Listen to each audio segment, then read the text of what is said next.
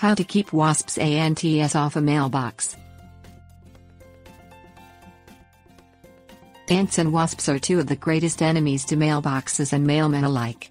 By using the insect's natural instincts against them, you can keep them away from your mailbox and make your mailman's life a little easier. Your mailbox can be ant and wasp proofed in less than half an hour with only a handful of easy to use supplies. Things you'll need